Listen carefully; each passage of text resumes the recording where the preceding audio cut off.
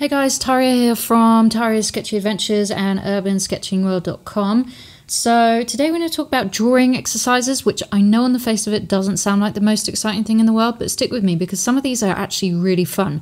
So first things first, let's go get a cheap exercise book with plain paper in it. Those kind of books like the ones we used to use when we were school kids. They're cheap and you won't mind filling the pages with nonsense, otherwise known as drawing exercises. Now, onto a bit of hand yoga. Close your eyes, breathe, zen out for a moment, and stretch your fingers out like this. Do circles with your wrists and your elbows. And now from the shoulders, remember to go in one direction and then the other direction. Do you feel like you're watching Yoga with Adriene right now? No? Oh, okay. So, just like vocalists or those people who actually exercise, it's really a good idea to warm up your bits and bobs before sketching, especially if you're in for a two hours plus urban sketching session. And, you know, it may save on those medical bills down the line. Also, don't forget your poor back. My posture isn't the best, and it's really something I'm trying to consciously work on lately. For these exercises, feel free to use what you want. I'm going to be using a pencil to start off with at least, and you can use whatever pencil you want. It can be a clutch pencil, a wood pencil, mechanical pencil, whatever you want, doesn't matter. Here I'm using just a normal wooden pencil, and it is a B grade graphite in it.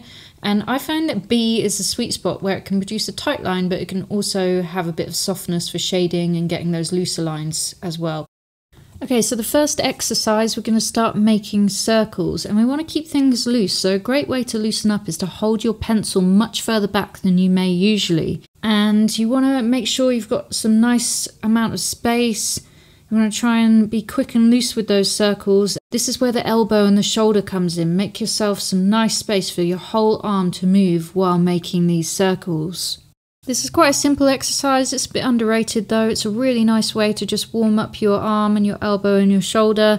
And it's great to see just how circular you can get those circles by trying to draw with your fingers and your wrist versus using the whole of your arm.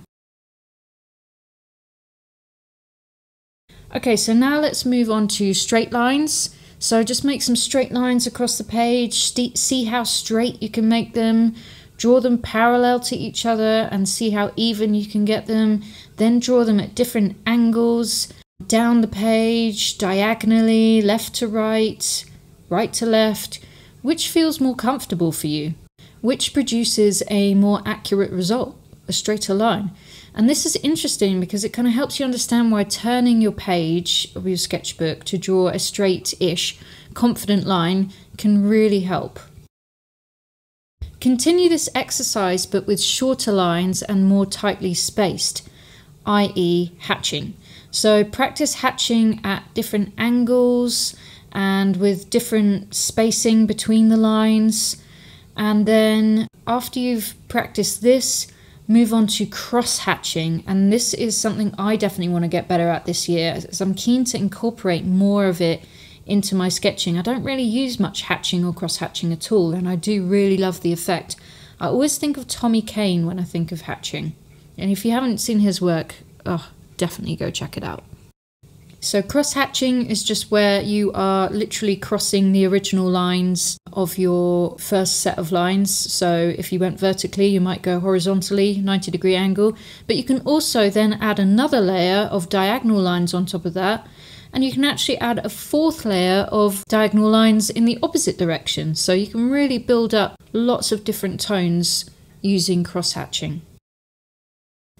So you can continue on and practice drawing other geometric shapes like squares and triangles and you can also replace any straight lines you've drawn with uh, wiggly lines and try and get those parallel and even. All those kind of things are going to grow a strong relationship between your hand and your eye as well as your pencil and your page.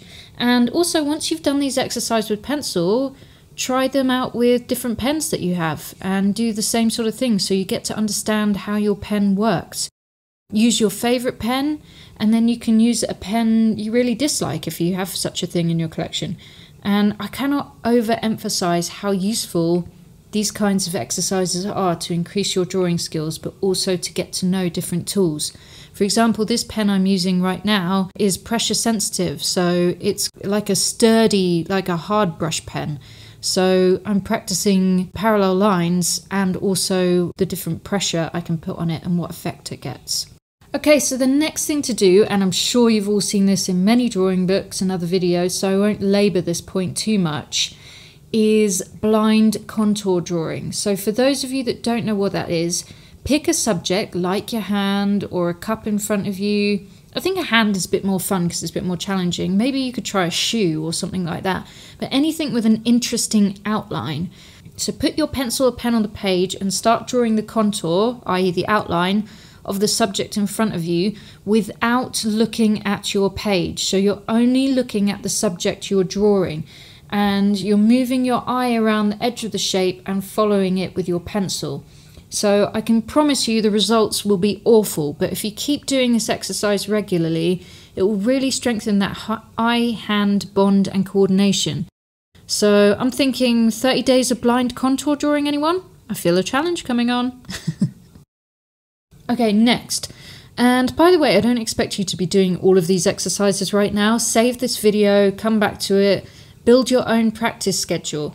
I'll reference musicians again as that's kind of a context I'm familiar with, but it's like sitting down at the piano and running through your scales, arpeggios, intervals, practicing time signatures, different rhythms, all that technical stuff. So we don't get away without doing that stuff as sketchers too, not if you actually want to get better anyway. And no judgment here, I've actually actively avoided this stuff.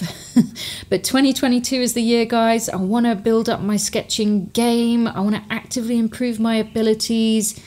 And I'm not really sure what that's going to look like yet, but I know exercising and practicing essential skills will be an important part of this journey.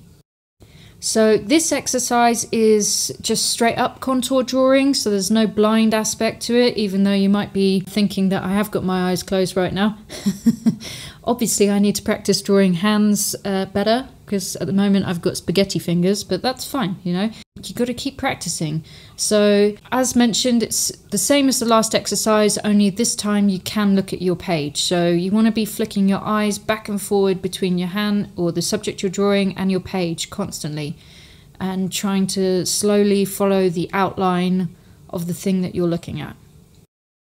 On to continuous line drawings. I love the outcomes of continuous line drawings. They just feel so loose and free, even though there's an element of constriction.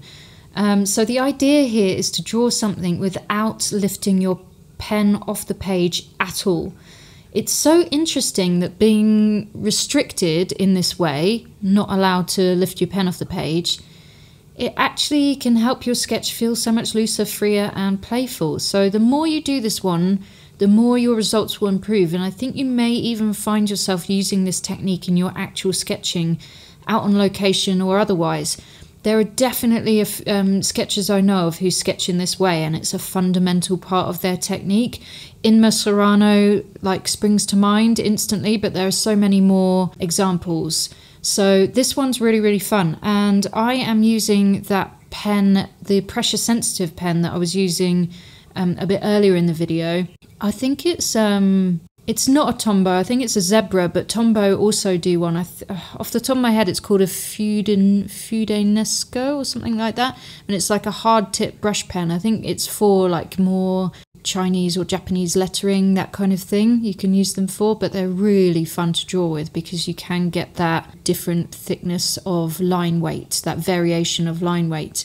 But anyway, that's what I'm I've decided to use for this drawing. And as you can see in the bottom left-hand corner, that's what I'm drawing. It's just the top of my tripod head, and it was just there across the desk as I was contemplating this video. So I was like, oh, that would actually be really fun because it's just got so many interesting shapes um, to it. So there are a few moments here where you'll see I do accidentally take my pen off the page, but more as just like a rest rather than moving around. So, um, and then I'm like, oh, Damn, I need to put my pen back on the page. And I think I do lift off altogether in a second and just move across to start another area. But I think that's fine. I mean, obviously, this is a, an exercise, and the idea is to keep it loose, you know, just to loosen you up. And it really works. I, I really, really love this exercise. So if there's one exercise that you take from this video, please try this one. All right, next exercise is drawing everything with a brush pen. I mean, if the if that's something that you have or want to get, this is really valuable exercise. Uh, whether you use brush pens normally in your work or not, as they're kind of a halfway house between a pen and a brush. So, gaining some kind of mastery over expressing yourself with a brush pen can have an excellent like knock-on effect to mastering other tools as well. It also strengthens your dexterity and the control that you have in your hand. So in this exercise, I saw this um, my lucky cat that I have up on my shelf, and I thought, okay, let's have a go at drawing that in a brush pen. Um, so, not the best drawing in the world, but again, I'm sharing these with you guys to let you know that no one's going to do these exercises perfectly. They're exercises, that's not the point of them, you know. But the more and more you do these things, the more it's going to strengthen your skill and confidence. So, it's just like a win win win. Okay, and so the last one for today, and I actually only discovered this very recently from seeing a, pretty old video on Proko's channel, where the artist demonstrates something he learned from his mentor, and it's called automatic drawing.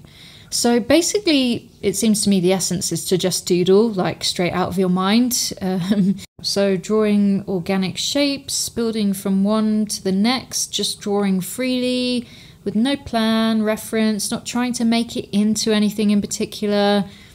And you know, this kind of technique in the hands of an artist, uh, like in Proko's video, I mean, the results are stunning. But for us ordinary folk, well, we can just have loads of fun with this. And it's also an excellent way to warm up before drawing, getting used to your hand moving across the page, moving pencil or pen or brush across the page, and getting used to how that connects with the surface and you can do this with any medium. You don't need to do this with a pencil. In fact, the artist in Proko's video is using pencil, but he mentions that his mentor used to do it with ink and watercolor. Um, my demonstration here, I'm just using brightly colored like ballpoint pens. It's really fun doing organic shapes, but then I switched to a pink pen and I thought, well, maybe let's just do more architectural structural shapes just to see how that is. And then I was like, oh, maybe I should try this with a brush pen and see how that works. Just have loads of fun and just fill your page with just whatever comes out of your head. And I think it's just a really nice way to warm up and also relax into drawing. And you don't have to do this for long, you could just do it for a few minutes. You could make small doodles or you could make you could go all in and do this for like an hour and create like cover an entire page. I'm actually quite keen to try it with ink and watercolor and just really make some abstract crazy nonsense. And i mean that in the most literal way like no sense. I think it's actually a nice way just to be present with yourself. It's like a mindfulness exercise almost where you're not worrying about what it's going to look like or turn out to be or whether it's going to look like the thing you're trying to draw because it's just totally out of your imagination. So I think this this one has loads of benefits to it, so I really recommend giving it a go. And you can watch the original video where I got this idea from um, over on Proko's channel. I'll put the link in the description below. So if you're interested in practicing together with other like-minded people, we are checking out Perspective over on Patreon at the moment. We've just done week one and started week two. So we've done one one point perspective and now we're on two point perspective. And I share with you a video of me practicing these skills as well as giving you reference photos for your for you to try out for yourself as well. So loads of learning going on there, lots of practice. 2022 is the year. We're going to build up our sketching skills. So yeah, come and join us. And for the month of February, I think we're going to be playing with the technique of painting first and then drawing on top, which is just so much fun. So head over to Patreon, link in description below, and hope to see you over there.